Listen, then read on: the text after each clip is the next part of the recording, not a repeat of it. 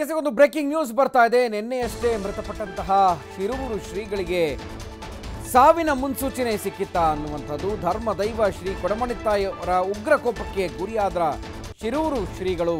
So ಇದು ದೈವದ ಮುಂದೆ ಅನುಚಿತವಾಗಿ ವರ್ತಿಸಿದ್ದೇ ಈ ಶ್ರೀಗಳ ಸಾವಿಗೆ ಕಾರಣ ಆಯ್ತಾ ಅನ್ನುವಂತಹ ಮಾತುಗಳು ಕೂಡ ಕೇಳಿ ಬರ್ತಾ ಇದೆ. ದೈವದ ಮುಂದೆ ಅನುಚಿತವಾಗಿ ವರ್ತಿಸಿದ್ರ? ಹಾಗಾದರೆ ಶ್ರೀಗಳು ಅನ್ನುವಂಥದ್ದು ಆ ಬಗ್ಗೆ ವಿಡಿಯೋ ಕೂಡ ಇದೀಗ ವೈರಲ್ ಆಗ್ತಾ ಇದೆ. ಅನುಚಿತವಾಗಿ ವರ್ತಿಸಿದ್ದಕ್ಕೆ ದೈವ ಕೋಪಗೊಂಡು ಶಾಪ ಕೊಡ್ತಾ ಕೊಡಮಣಿತಾಯ ದೈವ ಶಾಪ ಕೊಡ್ತಾ ಅನ್ನುವಂಥದ್ದು. ಜಾತ್ರೆಯ ಸಂದರ್ಭದಲ್ಲಿ ದೈವದ ಮುಖಾಮುಖಿ ಆಗ್ತಾರೆ. ದೈವದ ಜೊತೆ ಸಂಭಾಷಣೆಯ ಸಂದರ್ಭದಲ್ಲಿ ಅನುಚಿತವಾಗಿ ಶ್ರೀಗಳು ವರ್ತಿಸಿದ್ದಾರೆ ಅನ್ನುವಂಥ ವಿಡಿಯೋ ಈಗ ವೈರಲ್ ಆಗಿದೆ. ಪಡುಬಿದ್ರೆಯ ಬಾಲು ಪೂಜಾರಿ ಮನೆತನದಲ್ಲಿ ನಡೆದಂತಹ ಧರ್ಮ ನೇಮ ಅದು.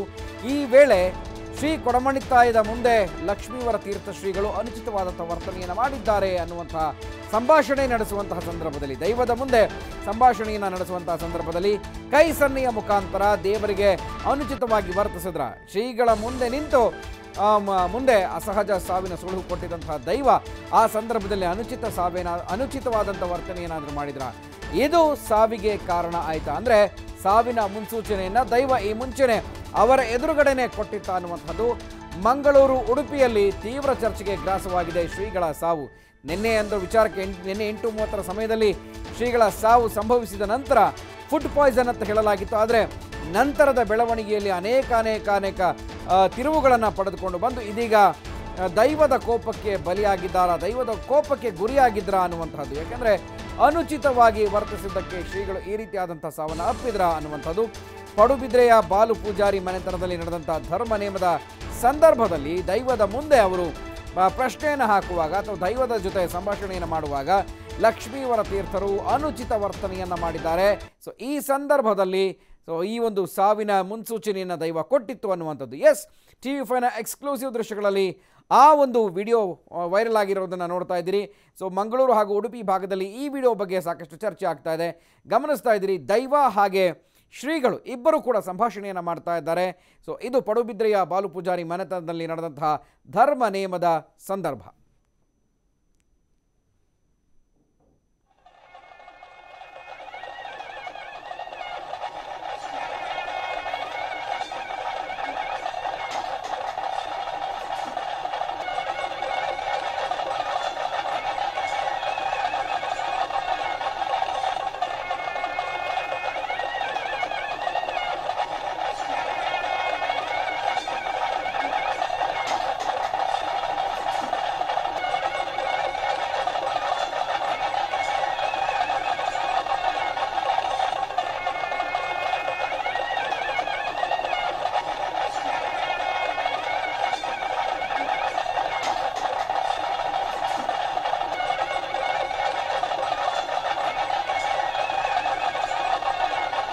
ಎಸ್, ದೈವದ ಶಾಪಕ್ಕೆ ತುತ್ತಾದ್ರ ಶಿರೂರು ಶ್ರೀಗಳು.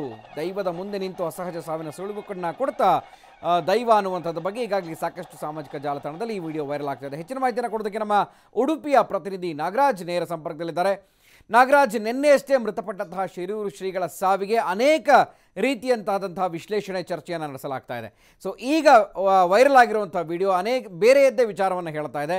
ಸೊ ಅಂದರೆ ಧರ್ಮ ನಿಯಮದಲ್ಲಿ ಈ ಒಂದು ವಿಚಾರ ಬಯಲಾಗಿತ್ತು, ಸುಳುಹನ್ನು ಕೊಟ್ಟಿತ್ತು ದೈವ ಅನ್ನುವಂಥದ್ದು. ಅನುಚಿತವಾಗಿ ಹಾಗಾದರೆ ಅಲ್ಲಿ ಯಾವ ವರ್ತನೆ ಕಂಡು ಬಂದಿದೆ ಶ್ರೀಗಳದ್ದು ಅಂತ? ಇಲ್ಲಿ ಗಮನಿಸಬೇಕಾದ ಅಂಶ ಏನು ಅಂದರೆ ಬಾಲು ಪೂಜಾರಿಯವರ ಮನೆಯಲ್ಲಿ ನಡೆದಂಥ ಧರ್ಮನೇಮ ಸಂದರ್ಭದಲ್ಲಿ ಉಪಸ್ಥಿತರಿದ್ದಂತಹ ಶಿರೂರು ಶ್ರೀಗಳನ್ನ ಮಾಮೂಲಾಗಿ ಒಂದು ಕ್ರಮ ಇರುತ್ತೆ. ದೈವ ಧರ್ಮನೇಮದಲ್ಲಿ ಏನಂದ್ರೆ ದೈವದ ಪಾತ್ರಿ, ಅಲ್ಲಿ ಕುಳಿತುಕೊಂಡಿರುವಂತಹ ಬ್ರಹ್ಮ ಸಮಾಜ ಅಂದ್ರೆ ಬ್ರಾಹ್ಮಣ ವರ್ಗ ಏನಿರ್ತದೆ, ಮತ್ತೆ ಗುರಿಕಾರರು ಏನಿರ್ತಾರೆ, ಅವರ ಎದುರಿಗೆ ಬಂದುಕೊಂಡು ಅಭಯವನ್ನ ನೀಡುವಂಥದ್ದು ಅವರ ಎದುರಿಗೆ ಬಂದುಕೊಂಡು ದೀವಟಿಗೆಯನ್ನು ಹಿಡ್ಕೊಂಡು ಗೌರವ ತೋರಿಸುವಂಥ ಸಂಪ್ರದಾಯ ಇರ್ತದೆ. ಆದರೆ ಇಲ್ಲಿ ಏನಾಗಿತ್ತು? ಶಿರೂರು ಶ್ರೀಗಳ ಮುಂದೆ ಬಂದಾಗ ನಿಮಗೆ ಅಪಾಯ ಇದೆ ಅನ್ನೋದನ್ನ ದೈವದ ಪಾತ್ರೆಯ ಮೂಲಕ ದೈವ ಸಂದೇಶ ನೀಡಿತ್ತು ಅಂತ ಹೇಳ್ತಾರೆ.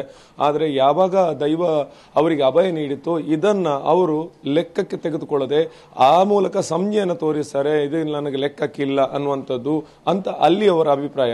ಇದು ಬಹಳಷ್ಟು ದಿನಗಳ ಹಿಂದೆ ಈ ಧರ್ಮನೇಮ ನಡೆದಿದ್ದು, ಆ ಸಂದರ್ಭದಲ್ಲಿ ಶಿರೂರು ಶ್ರೀಗಳಿಗೆ ದೈವದ ನುಡಿಯಾಗಿತ್ತು.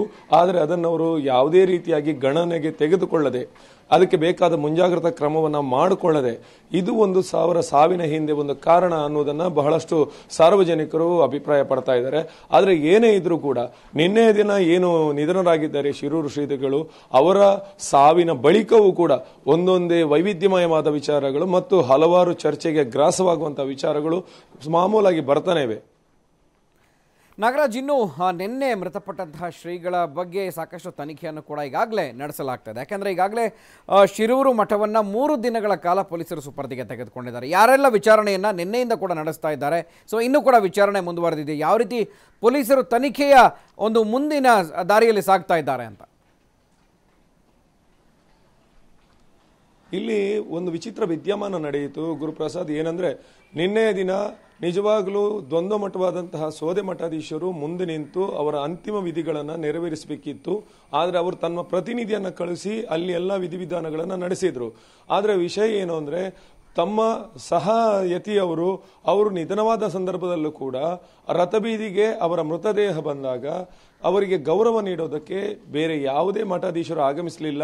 ಇಲ್ಲೇ ಒಂದು ಸಣ್ಣ ಅನುಮಾನ ಅಲ್ಲಿಂದ ಆರಂಭ ಆಗಿತ್ತು. ಆದರೆ ಒಂದು ಮೂಲದ ಪ್ರಕಾರ ಪಲಿಮಾರು ಶ್ರೀಗಳು ಪರ್ಯಾಯ ಪೀಠವನ್ನು ಏರಿದವರು. ಅವರು ಕನಕನಗಿಂಡಿಯಲ್ಲಿ ಪಾರ್ಥಿವ ಶರೀರ ಕೃಷ್ಣನ ದರ್ಶನ ಮಾಡ್ತಿರೋ ಸಂದರ್ಭದಲ್ಲಿ ಬಂದು ಗೌರವವನ್ನು ಸಲ್ಲಿಸ್ತಾರೆ. ಆದರೆ ಒಂದು ಮೂಲದ ಪ್ರಕಾರ ಏನಂದರೆ ಪಲಿಮಾರು ಸ್ವಾಮೀಜಿಯವರು ಕೂಡ ಬರ್ತಾ ಇರಲಿಲ್ಲ.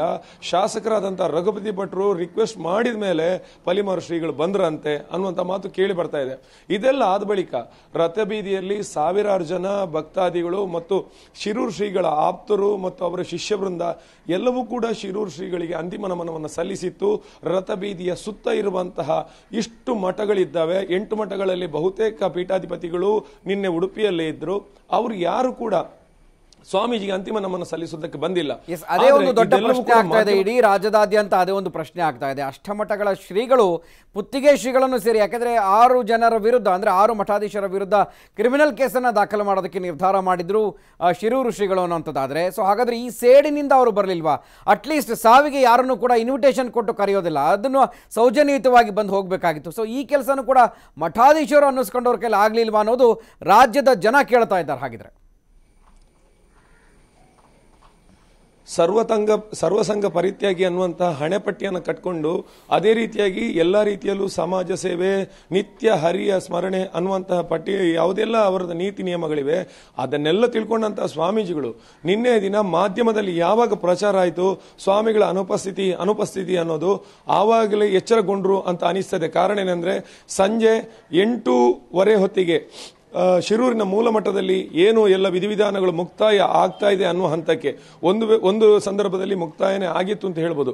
ಮುಕ್ತಾಯ ಆಗಿದ ಮೇಲೆ ನಾವು ಮಾಧ್ಯಮದವರು ನಾವು ಅಲ್ಲಿಂದ ಹೊರಡ್ತೇವೆ ಅನ್ನೋಷ್ಟರಲ್ಲಿ ಕಾಣಿಯೂರು, ಸೋದೆ ಮತ್ತು ಅದಮಾರು ಮಠದ ಕಿರಿಯ ಶ್ರೀಪಾದರುಗಳು ಅಲ್ಲಿ ಬರ್ತಾರೆ.